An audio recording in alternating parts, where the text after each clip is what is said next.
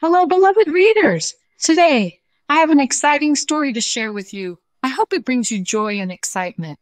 Today, we have a book named Snow White and the Seven Dwarfs Short Stories for Kids. I think they're so pretty. I hope you guys really enjoy it. I love it. Please give this video a like if you enjoy it, and don't forget to subscribe to Kid channel for more stories. Thank you for reading. So, here we go. 1. A beautiful princess is born. Long ago, in a distant kingdom, a beautiful queen lived who gave birth to a baby girl. The queen had always wished for a beautiful daughter, and she was blessed with one who had skin as white as snow, eyes that were brighter than diamonds, and cherry red lips. The little girl was named Snow White for her beauty. As the years passed, Snow White grew as beautiful as her mother, and before she could reach her prime, her mother grew ill and passed away.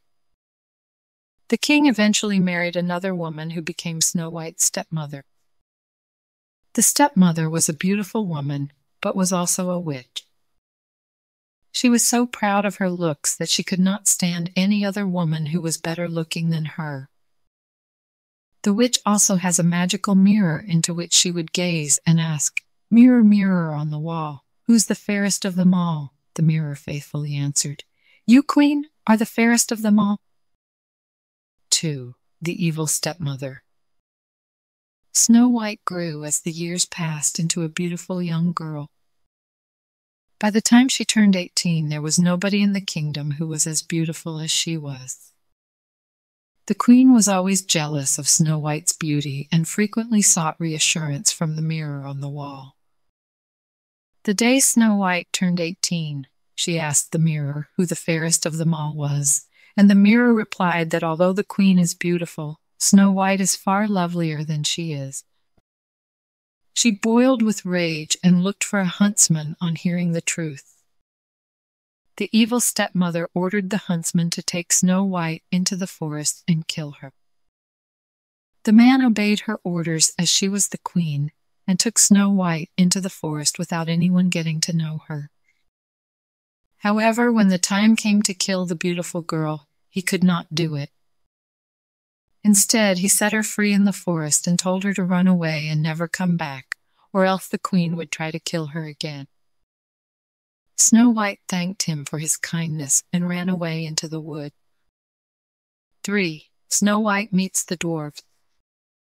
After a long day of running away from what could have been a terrible fate, Snow White was sobbing, tired, and hungry. She wandered into the dense forest, scared, until she came across a tiny cottage. She entered the cottage and found that there was no one in it. However, there was food on the dining table, which she gleefully ate as she was starving. She looked around and realized that the cottage was messy and decided to clean it. When she was exhausted, she went to the room and found seven beds. She made the sheets and slept in the bed she felt most comfortable in. In the evening, the cottage residents, who were all dwarfs, returned home from a long day of work at the mine. They realized that the house was sparkling clean and the food they left at the table was consumed. When they investigated further, they found a girl sleeping in one of the beds. Seeing her shocked the dwarfs, making them scream and jump away. Hearing the dwarfs, Snow White woke up from her sleep and screamed in fear. After the shock of the discovery settled, the seven dwarfs introduced themselves to her. Snow White introduced herself and told her story. The dwarfs felt bad for the poor girl and allowed her to stay with them in exchange for taking care of the chores and cooking for the dwarfs. Snow White settled with the dwarfs and all were happy. 4. Stepmother casts a spell. The evil queen never bothered to ask the mirror who the fairest of them was for a long time, as she thought Snow White was dead. One day, out of curiosity, she asked the mirror, and it gave the same reply that Snow White was the fairest of them all. Realizing that Snow White was still alive, the queen decided to take matters into her own hands. Being a witch, she concocted a potent poison and injected it into a delicious apple. The witch then set off on a search to look for Snow White in the forest. She soon realized the girl's presence when she came across the dwarf cottage. During the day, the dwarfs were off to work in the mines, and Snow White stayed behind. They would have warned her not to open the door for anyone, knowing her life would always be in danger for as long as the queen was alive. The witch disguised herself as a feeble old woman selling apples in the forest. She knocked on the door, but Snow White didn't open it. She then enticed Snow White by showing her the delicious blood red apples through the keyhole and tells her to try just one. Snow White cannot resist and takes a bite out of the apple. She falls to the ground soon after the first bite and goes into a deep, irreversible sleep. 5. Handsome Prince breaks the spell. The dwarfs come back home to the horror of Snow White lying unconscious on the floor. Not knowing what to do, they place her in her bed and stand sobbing next to her motionless body. They make her a coffin out of glass and place her in it before deciding to bury her.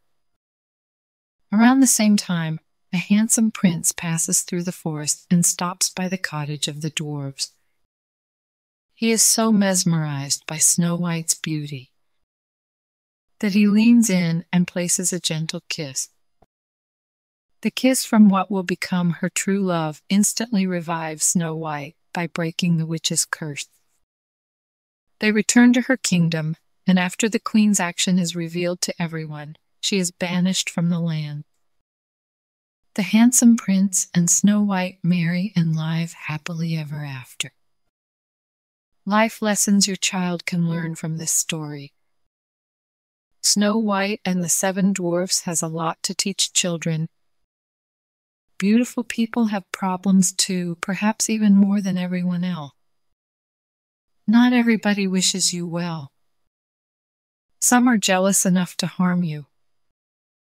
It is important to have trustworthy friends. You can win over all people with a kind heart and good manners. Harming others out of spite will bounce back on you eventually. True love always brings you out of the worst of places.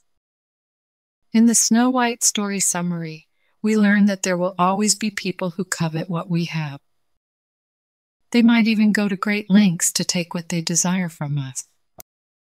It is important to have trusted friends, and the touch of love can transform the world. We have reached the end of the story. Good job, friends. Thank you so much for reading with Luna on Teep Kid channel. Bye. I'll see you next time.